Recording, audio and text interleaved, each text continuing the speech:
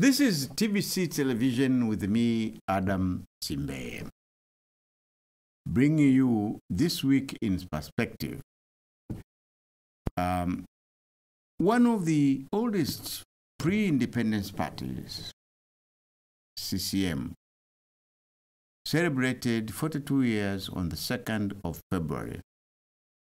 Uh, this is no, uh, I mean, achievement, obviously, and indeed immaturity for one single party to have survived that long after independence.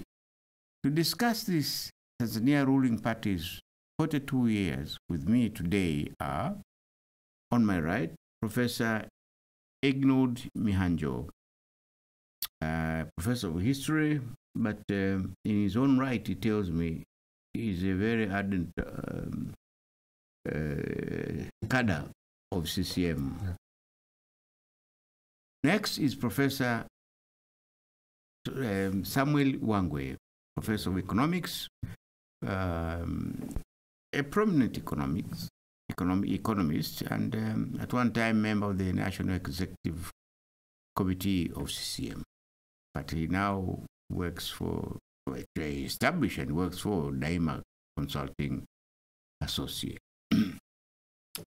On my left is Professor Gaudensi Mpangala, also a historian uh, and former uh, senior lecturer at the Institute of Studies, University of Salaam, then went on to, to Ruaha Catholic University, where he's doing research and lecturing in history as well. Next to my left is Deo Balile, Deodatus Balile, who is a senior journalist, editor of Jamhuri, but also vice chairman of the Tanzania Editors Forum. Gentlemen, welcome to the program. So, let us have a second goal on uh, discussing this very important occasion uh, for the ruling party CCM. Professor Wangwe, the ruling party CCM is this year 42 years of age. Has the party lived up to its own and people's expectation, if you may? Uh, thank you very much. Um, the party is 42 years old, the CCM.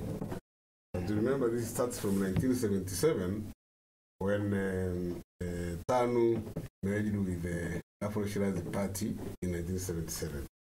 But the tradition of TANU, I mean, CCM goes further back uh, uh, from the time of uh, uh, 1954.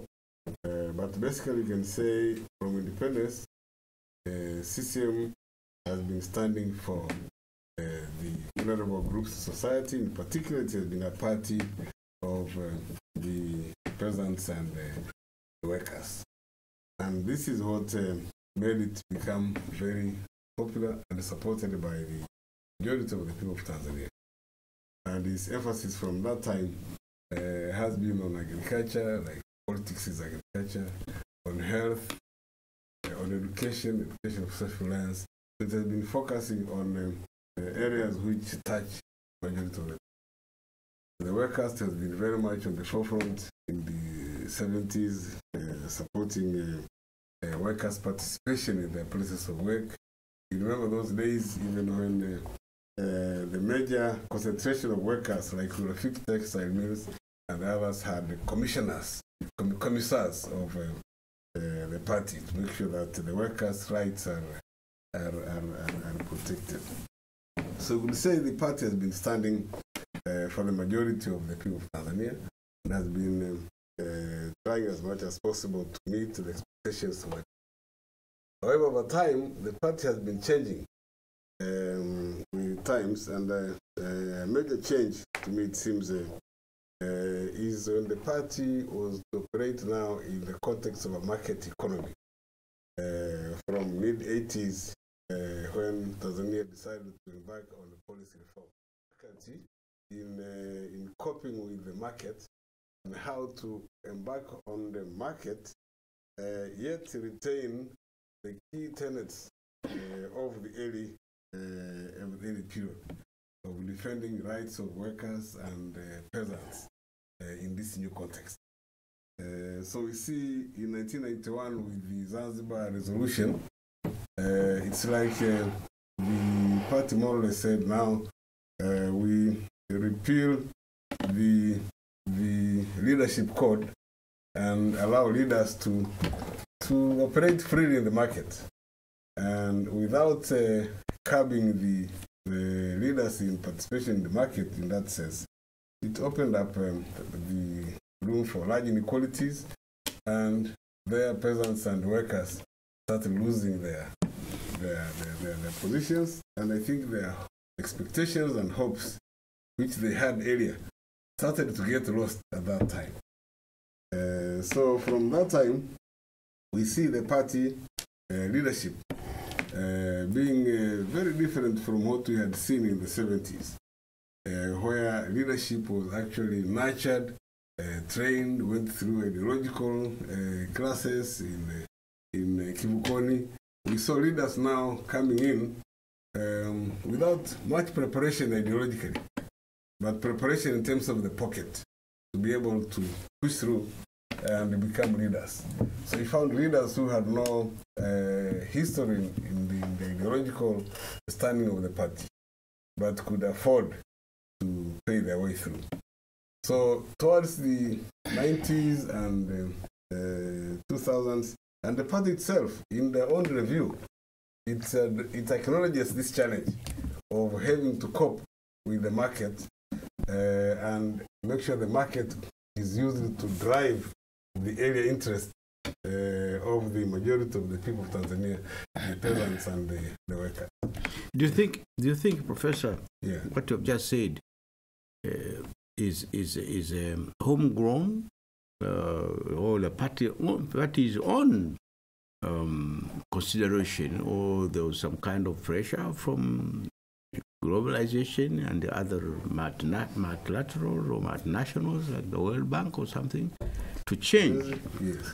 from what they, they, believed in to get into market uh, economic policies or trends. There was pressure from outside, but there was also an opportunity for the party to retain its role as uh, uh, in terms of uh, leadership, uh, even in the context of the market, like we see in the case of China, in the case of Vietnam, where the uh, ruling party adopted the market, but in a more gradual and managed way, so that you don't lose track of what you started with. Okay. But in our case, with that interference, we lost track. Uh, so system of the later period and the system of the earlier period uh, is quite uh, different. But one characteristic, characteristic which runs through the system has been able to change over time, change over time.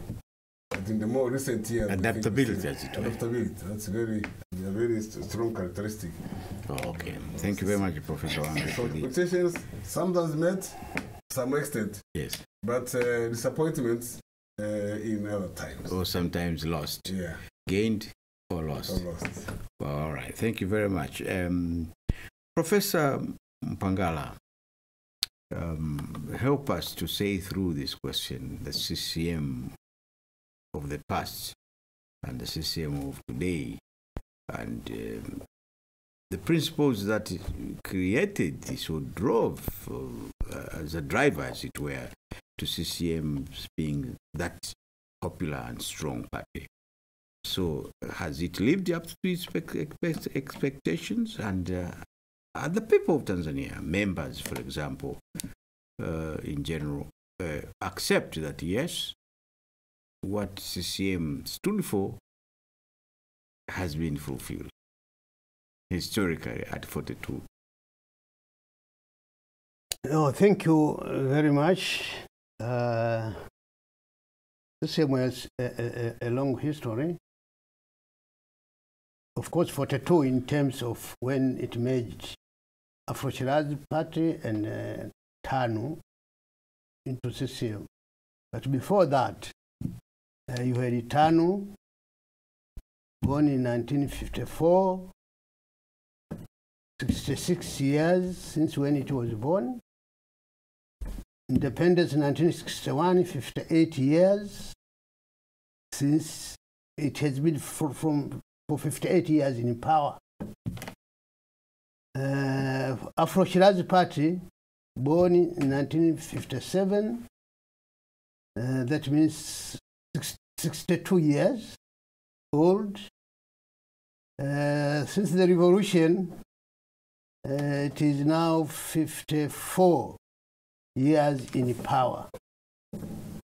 So in Zanzibar, uh, there is a difference of years, but from since 1977, uh, they are the same. Uh, when I look at why it, is it still in power, when you look in Africa, African context, um, most of political parties in Africa, uh, which were fought for independence, liberated their countries, they are no longer in power. Uh, you know, Zambia UNIP, the first multi-party elections, They lost. they lost. And uh, Mobutu tried, but was overthrown by Kabila. Obote overthrown twice. Uh, of course, in Kenya, Kanu tried to, consistently remain in power like, like a To, to system, survive, as it were. survive. but 2002, but it was overthrown by the opposition and disintegrated. yes. So you can tell many stories, live out, out, out beside the, those armed liberation parties in southern yes. Africa. Yes. But the rest, uh, Yeah, just on that point, Professor Mpangala, how about the history of West African countries? I mean, Nigeria, uh, Ghana. Ghana got independence first, the first country in Africa, and then, of course, Nigeria, just about the same time with us. But they had strong party. Uh, Kwame Nkrumah, uh, the what they call the CP, CPA or CPU. CPC in, in Ghana, and then the Tafawa Balewa's party, I can't remember his name now. Have all these survived as well? no, Nkrumah was overthrown in 1966. Yes. Where is it? Tafawa Balewa in Nigeria, this, this, the same year. And later on, uh, of course, in Nigeria, uh, since the military took power, it's been a military state for, for over 30 years. Mm. Uh, until 1999, uh, when now a, a civilian government came back.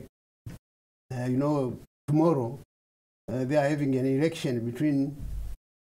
Uh, it's, it's, you have competition between Buhari and Atiku Abubakar. But that, that election was postponed, isn't it? yes, it was to postponed one week. was- okay, but they're, they're resuming. They so- are re- they're resuming tomorrow, okay. and they are, the fears are now coming from the, the ruling party, not from the opposition. Normally in Africa, fears of rigging the election come from the opposition that the, the ruling party will rig Rig. the election. But now fears come from the ruling party that the opposition party, which is the strongest of Atiku Abu- Abubakar, uh, is likely to, co- to collude with the, the, Independent Electoral Commission uh, so that they, it rigs the election. That's very interesting. we, we hear the CCM cadre's opinion when, when, when his turn comes. Yes, continue, Professor. So as the professor was saying, uh, of course, the building of this party has been very historical. That since when it was it, it started, it centered its tentacles to the grassroots level. Uh, TAA, since 1945, it prepared itself. You know, the idea of transforming TAA into TANU TAA for was the viewers. conceived in, in India by soldiers who were fighting in the Second World Yeah, War. TAA for the for the benefit of the viewers. Tanzania African Association. Tanganyika African Ah, sorry, Association, Tanganyika, a yes. civil society organization. The idea was conceived in India by soldiers who had who now who were waiting to be shifted back to, to, to Tanganyika. They said, when we go back, you see, India is nearly getting independence. Eh, why not? Are we not going to fight for independence in Tanganyika? And we should transform TAA into TAN. So when they came, they conceived that idea and TAA prepared itself to be transformed into TAN. So that's why it started opening the branches now up to the rural areas. It was a, a, a, town-based civil society organization. Now it started opening tentacles in the rural areas, opening branches with the cooperative organizations. So when in in 1954 it transformed into TANU, TANU had already had to, to, had, to have, all those branches of TAA became branches of TANU, and TANU opened more branches. And TANU therefore became a very strong uh, nationalist political party, leading, mobilizing all Tan- Tanganyikans for independence. And that mobilization made TANU a very strong party. So the elections of 1958, 59, and 1960, TANU won. Uh, of course, it was against uh, other political parties, AMNUT, ANC, uh, and that uh, European-based political party. So, so TANU was a very strong party because it won over 90 percent, uh, all the seats. So that made TANU a strong party until it, now after independence, Mwalimu said I must develop TANU into a mass-based party and it must be a leading party. He decided to resign in 1962, soon after independence, to build the party. He had already, it had already built, but to build more. Make it stronger, much more stronger to than before. make it much more stronger to lead Tanganyika. They agreed with Kambona. Kambona was the, the, the minister of education. But uh, they agreed soon before independence that you are secretary. Kambona was secretary general. He, was the president of TANU. When we get independence, let us, you and I, resign from our positions in the government and concentrate to construct the party. So in January 1962, Nyerere resigned, but Kambona refused. Kambona refused.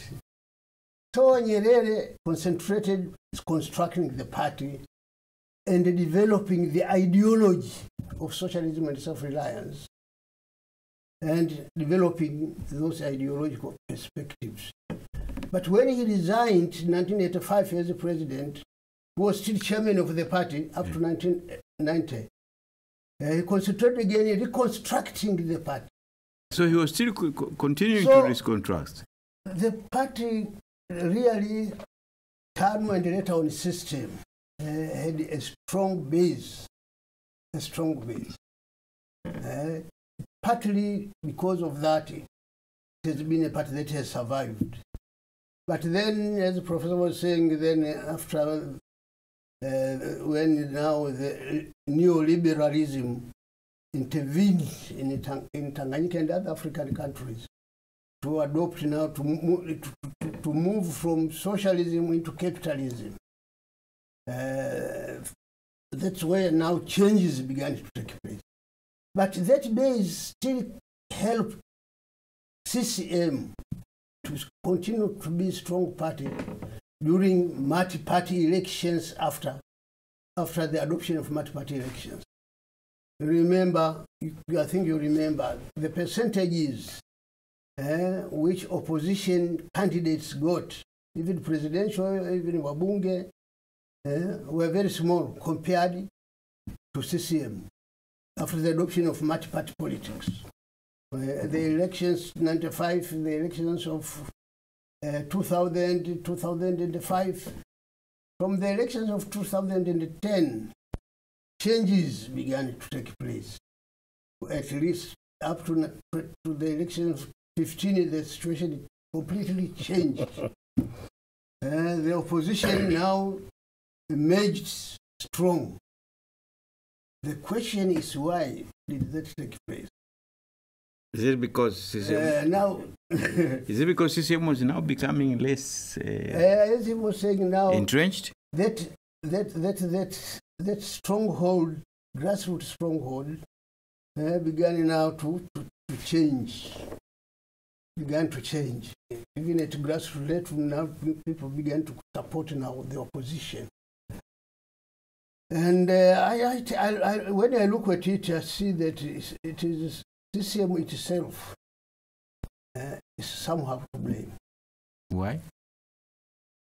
Be- be- be- because uh, if af- even after the adoption of multi-party politics and the neo- neoliberal economic system, the market system, they should system should have continued with the democratic approach of strengthening itself within the among the workers and the peasants. Uh, but now, uh, you, you, you, the leadership uh, began to enter into the process of primitive accumulation. What did what was the word you used? Primitive? Yeah, we use this Primitive accumulation. in, in, in history. Primitive accumulation was Of uh, in. Europe between 1915 and 19, uh, uh, between the 15th century and the the 19th century, Mm. primitive accumulation, eh, where the, the, the capitalist class struggled to accumulate wealth, eh, to, to, to, become rich. And uh, so the, the leadership and so on began to accumulate wealth. Eh, and therefore disattach with the, grass, the grassroots people. As the professor was saying, with the workers and the peasants. Uh, that's the, the Zanzibar, I have read that, that one. It's very interesting. It says that uh, we shall continue to be uh, the Arusha Declaration. We don't abandon it. We only made modifications, but modifications to allow the leadership and the members of, of CCM to at least to indulge into small business, small business, not a rich business, big business. But then where could you make the difference? Then where could you draw a line between small business and big business? so people began to enter into big business. Uh, and they began to get, the system began to come into alliance with the business class. Yeah, I think Professor knows better. Now elections, eh, elections now required the use of millions of money. Millions of money. Which the peasants, the ordinary farmers, Yeah. who were the basis uh, of the CCM principles Mm. at the beginning, ca- cannot afford that, or could not afford They that. could not afford. Yeah. They, they could not afford. So, so, so, so that now that resulted into corruption. Polit- beginning with political corruption, bribing voters a lot of money. Political corruption had to result into socio-economic corruption. where, where, where do you get that money to bribe the voters? So you, you have to use your position again eh, to steal money, eh, and, uh, start uh, uh, uh, business projects, and then you you can now compete. Can now compete. So this period now became a period of what I call a period of political corruption leading into socio-economic corruption. Uh, and, and, and, and- and now, of course, that has gone on. That was now a strategy for CCM to continue remaining in power through political corruption. Oh. But now that has gone, after 19, now 1915 was a, now a t- another turning point for CCM. Because it almost lo- it was almost to lose power. That has threatened CCM greatly. So they had to change, to, to, to add, not to change, to add another strategy. The strategy now of suppressing democracy, multi-party democracy. I hope Professor will agree here. Your, your fellow, your, your fellow professor. That is now an additional strategy to, to remain in power. For me, I say all those strategies, the political corruption strategy, and the suppression of democracy strategy, eh, are, make, are, are- damaging CCM more than if they used democratic strategy. Democratic strategy, strategy to continue with the workers and the peasants eh, that could help them more to sustain, to remain in power, rather than. For a longer period. For a No- no- longer no- period. Not for eternity, though, is it? Uh, no, no, no, no. for a longer period. Uh, Okay, Professor. let- Let's see now. Thank you very much for your um, analysis there. That to is, uh, is very interesting. Professor Mihanjo, Yeah. you heard Professor Wangwe, now Professor Mpangala. Um, you're very much involved in CCM activities, you provide advice, uh, not so much of guidance, but you do.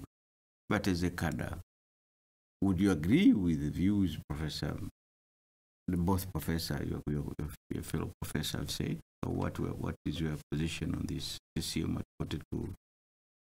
Has it remained the same? Does it, does it continue to respect its own principles of um, being a part of peasants and, and, and uh, workers? Or it has abandoned this and gone into embrace, to embrace uh, um, market economic policies by actually abandoning part of the Arusha Declaration and replaced by what they call the Zanzibar resolution. What is your position on this? Yeah, thank you. It's a, a difficult question. and uh, I'll try to tackle. Time limit is uh, another difficulty. Uh, partly, I agree some of uh, the obse- obse- observation made. Uh, CCM uh, strategies have a leadership gap, and that has led to losing the grassroots support. But uh, sorry, sorry, Professor. You Yes. agree that it is losing or it has lost grassroots support? it is losing, is losing. And that's continuous. Yeah, it is losing. All right. I will give you an example. When the fourth phase president came in, CCM had 80%. And in 2015, 58%. That Big up here. big again. And when uh, 2011 we were engaged on party reform, one of the challenges the chairman pointed to us is that his votes have gone down from 80 to 60. He, want, he wanted to know why, what has happened. Seriously, the threat is inside CCM, Not from outside. not out, it's not outside, external. Not external. If you look on the opposition, whether you use the threat analysis or capability model, there's weakness on the opposition. But when you, you make threat analysis and vulnerability assessment, much weakness is inside CCM. What is the weakness? One, the leadership gap. You have almost 30 years no training of party cadres, of leaders, succession plans. There's no way you can survive as a political party if we are not doing that. We abandoned Kivukoni and all party colleges. Where do you train leaders? Party work is the most difficult task on all parties if we want to survive in power. You need to do party work.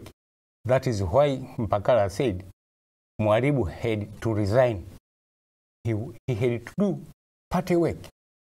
And that is the task which is missing. That was phase one. But also there was phase two of Mwalimu. 85. He went to do party construction, a party work. Another one was conceived, a third party work. 19, uh, 2010 something. It was, we tried, there was training in Dodoma. We called it training, uh, IHEMI training outside IHEMI. It was between October and December 2006. About, uh, about uh, 200 members were trained. But again, it, has died. You don't maintain ruling party by taking people from nowhere. And people, you need to train people on the party work, and you, you must maintain a bank of leadership. And the leader have to be told that the strategy of CCM, our main, our main stakeholders are peasant and the workers. But second, I want to deal the, on the strategies. CCM has also been able to survive because it has been able to adapt. The strategies always took care of international, global situation, and local situation. You know, there is issues of general nature like colonialism, like capitalism. Those are general. But specific, these are local here. You have to check your condition inside. Are you strong enough eh, to eh, not to agree to IMF? Is it good at this time to agree to Or to, IMF disa- or to disagree. or, or to disagree? Eh, So, if you read the party ev- ev- evaluation of, of 20 years, 1977 uh, to, uh, to 1977. It, it says a lot of the kind of problem CCM had uh, at the end of 1970s and 1980s. Therefore, it has to do strategic retreat one step or two steps backward so that you regroup, you gain momentum to go forward. Um, I, I understand a couple of years back uh, there was um, an exercise to do um, a transformational approach to transform CCM. First, there was Tujigwa, to, to, Kujivua Gamba, Gamba I don't know what that meant really. Yeah. And then recently, uh, I don't have to refer to which phase, but this is what happened to, to, to, re- to reform the party, reducing the number of um, delegates to Central Committee, to the National Executive, and this uh, kind of removing this double positioning, one, one individual holding two or three positions within the party. So the, these reforms are they are they have they become effective? I mean, have they been accepted by the the rank and file, including the cadres like you? This is uh, not a new strategy. It was uh, even in one party, then in multi-party, then now again. Uh, re- just uh, if we, we go back to documents, they are there. And in the document which I say, one of the issue was party governed relationship and the kind of contradiction by people having one title, two titles. The, the problem were there. And uh, uh, the key issue is how you keep the grassroots part of the party. Because if CCM loses that, and now it is really losing, Is it at what speed? Is it very fast? I have shown Oh, it's a gradual. I- oh, it's a gradual. I have shown in the election. yes. And uh, in in the in, in the uh, uh, kujivua gamba, uh, 2010 we did the uh, uh, research on election of 2010, and we pointed out that for the first time, out of 28 regional headquarters, CCM for the first time lost 10 constituencies. And we accounted much more that has to do for the loss of the grassroots support and the youth generation. Mhm. And the rural is also changing. The more you bring development to the rural, it creates more mindset for change. It is the same challenge which ZANU PF is facing, the same challenge ANC is facing, the same challenge SWAPO is facing. So unless CCM ties more with the grassroots, and the grassroots center which can do that is the 10 cell. Unfortunately, the 10 cell Good. is less involved now.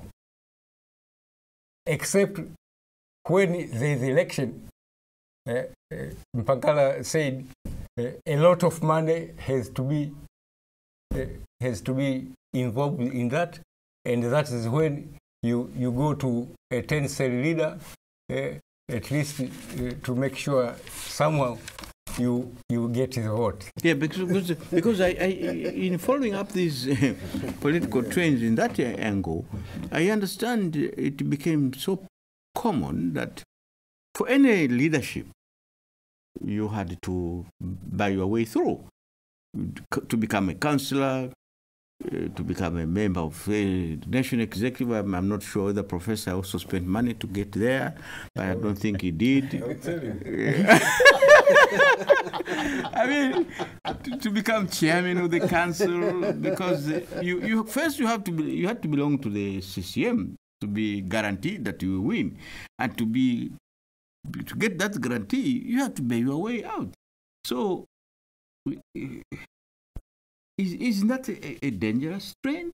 Then I'll come back to the point that Professor Mpangala raised that while CCM is losing its ground, popularity um, through the peasants and the, and the workers, um, it has added another di- dimension that is uh, democracy. We use the word suppressing democracy. But he was suggesting that CCM become strong again and continue, it, has to go back to its basic root support, grassroots support, and to promote democracy.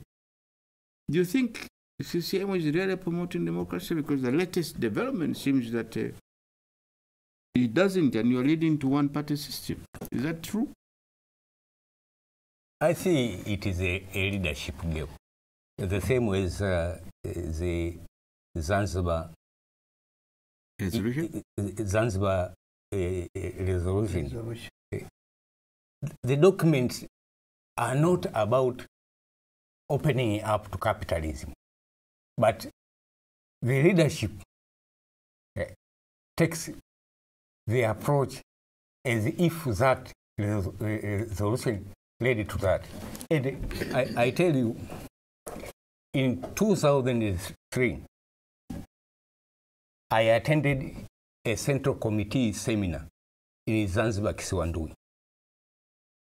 A major discussion was that should we declare that CCM is a capitalist party? And therefore, the country. It was not, it was not agreed.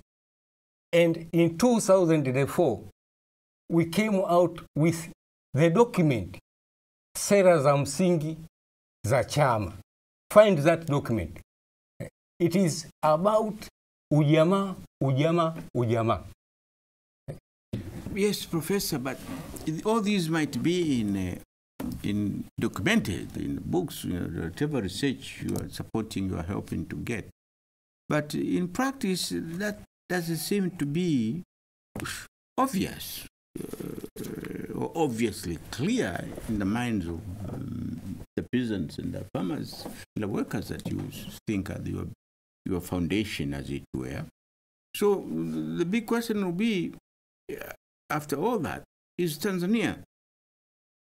First, the ruling party, which has been in power for over 42 years, for much longer, according to Professor Yeah. Mpangala, uh, for that matter, believe that this country is still led by African socialism, or they have ad- adapted as a result of the Zanzibar um, um, resolution a capitalist approach. So, are we capitalists? Are we socialists? Very quickly, before I know he has been anxious to come in. you know, ujamaa is a goal, is an ideology which makes people equal. But capitalism is a worldwide phenomena Eh, And ujamaa, mwalimu, came out of with ujamaa before even the Arusha Declaration. Arusha Declaration is it is more on leadership principles.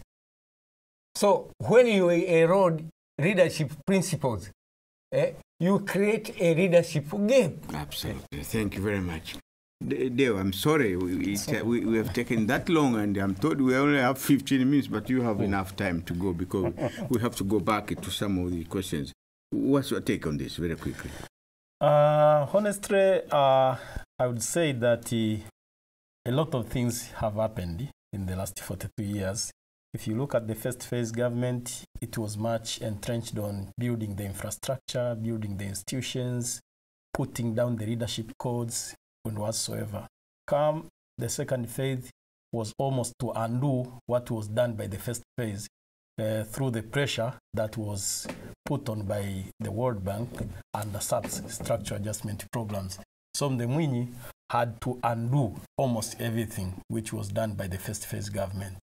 Come the third phase of government, we had to copy a little bit of what was a, the, the, pressure which was applied to the second phase under privatization. So Honorable Mkapa had, His Excellency Mkapa had to privatize almost everything and at times privatized blindly.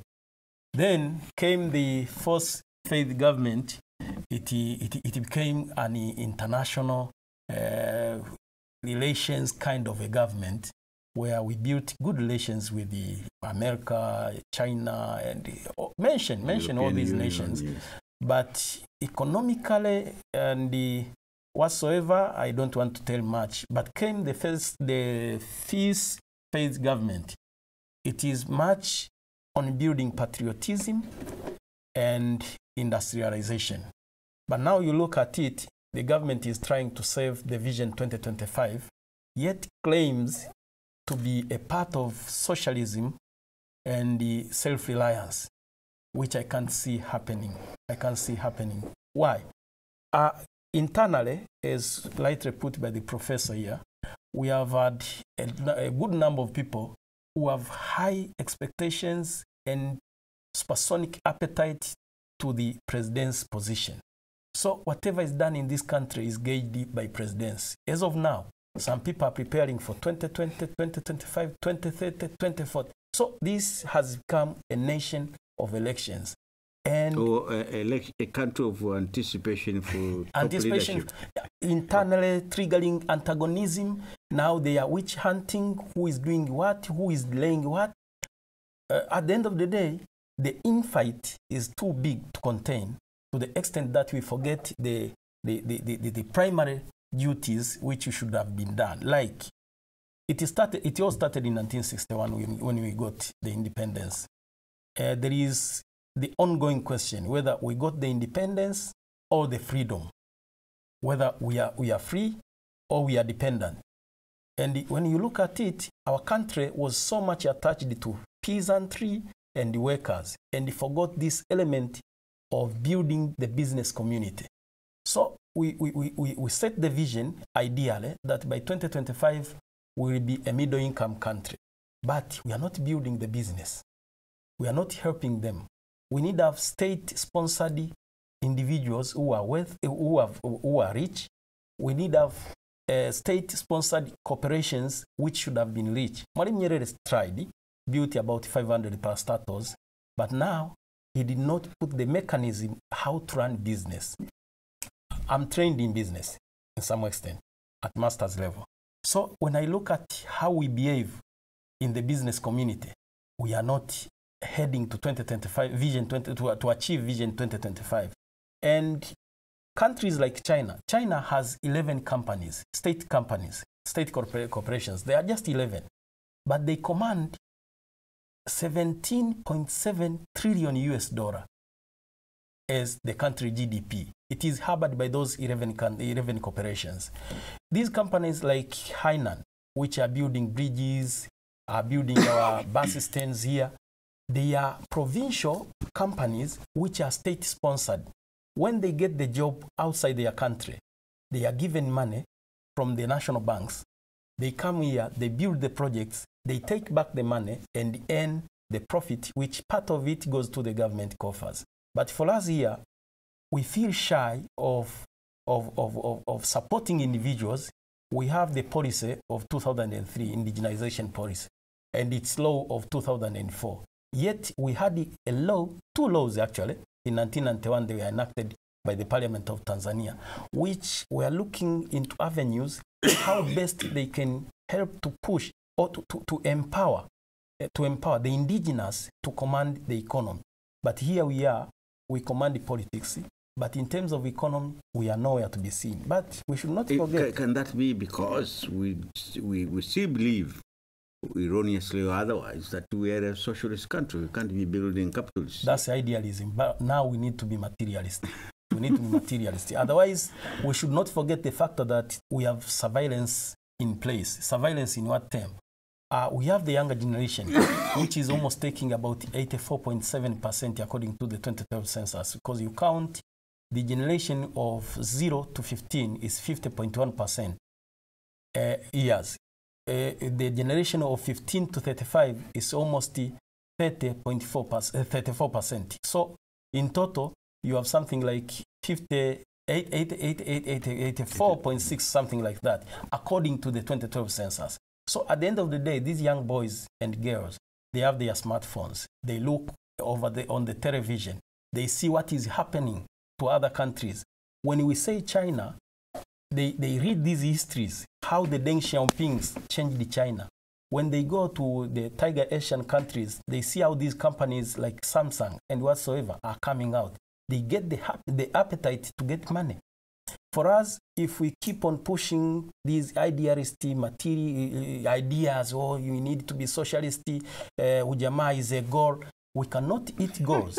we need to build stronger nations with strong economies, with strong individuals, and at the end of the day, Okay, you can't have a rich nation with the poor citizens. I'm really surprised that uh, we have taken that long. Only f- four speakers. Anyway, let us kind of wind up and conclude. We'll start with you, we'll go around this way. Very quickly. So, what are the challenges of the CCM at 42? Very quickly. Uh, the biggest challenge is how CCM is putting in, trace, in place a system that can help to nurture business and establish uh, proper channels for paying taxes, for creating wealthier individuals and indigenous companies. We cannot depend on foreign companies to build our country. Won't you be building a much bigger gap between the haves and the have nots? Never, never fear the gap. The gap will be there always. It is even there by now. What we can do is to manage the gap, like China did. One country, two systems. We get the taxes, we give social services. These individuals who are wealthier will continue with their life. It is no sin to have the, the, the Bill Gates here, to have the Boren Wallen here, to have the, the, the, the, the, the Jack Chan, and so many others. So the gap, we should not fear the gap. As we fear the gap, we'll never get money. All right, thank you. Professor Mpangala, one challenge very quickly. What should, uh, what is the challenge now facing CCM at Okay, 42? for, for me, I, I, I appreciate the current effort of, of, of, of, of, of, of pushing up the economy uh, with the ideas of industrialization, the construction of infrastructure. These are all over positive aspects.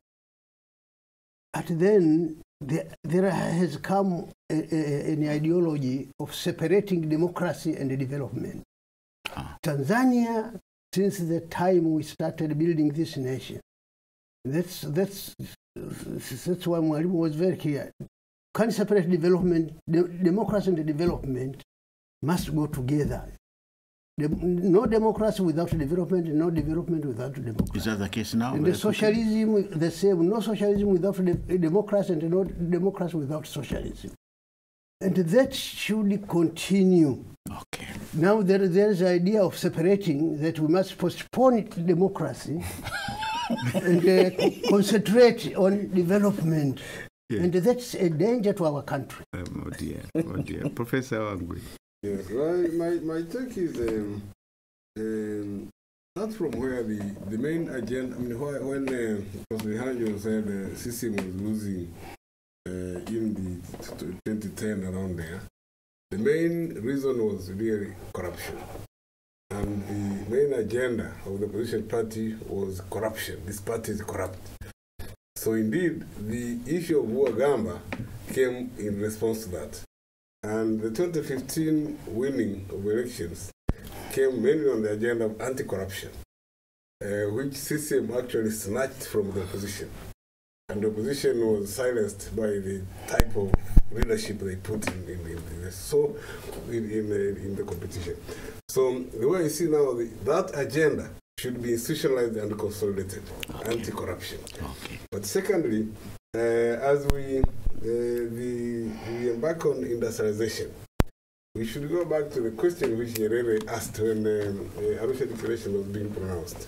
He said, now we have the Arusha Declaration.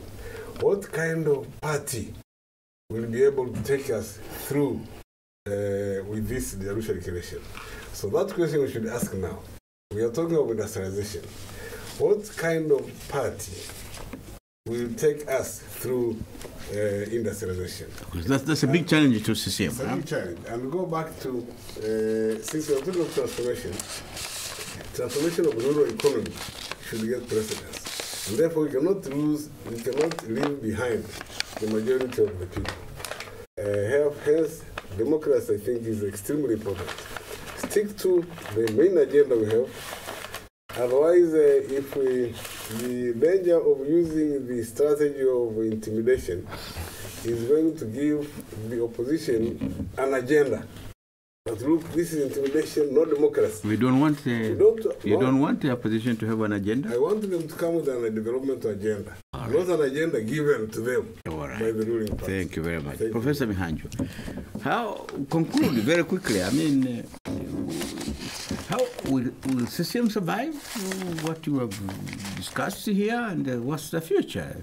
Will it uh, continue to rule for, for eternity? Or because this was mentioned by some people recently, by some leadership, that the CCM will be in power for the, for the rest of the whatever, for life. Do you see CCM very quickly? Well, and the I. I have said the threat is there. Uh, by 2015, it was 50 50. So the threat is there. Uh, and second, always uh, when I talk about ujama as the center of issue, eh, which connect people, grassroots people, with CCM, people think it is academic. Mm. yeah. Because you are an academic.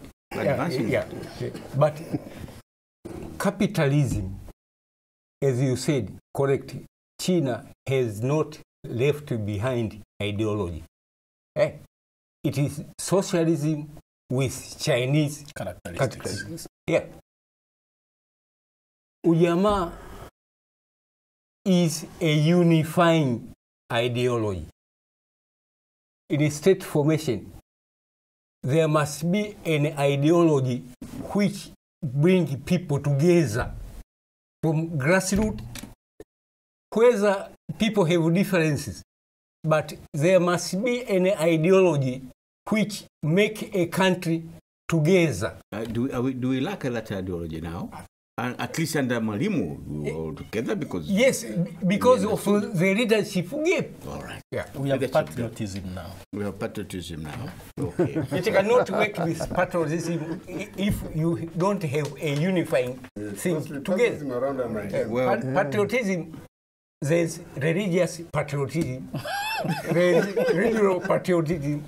There's political patriotism.